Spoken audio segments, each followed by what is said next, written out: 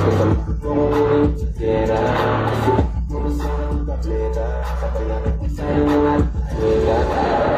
alphabet nagsimula sa ABC. Ang numbers nagsimula sa 1, 2, 3. Ang music nagsimula sa do, re, mi. Pwede ba ang love magsimula you and me?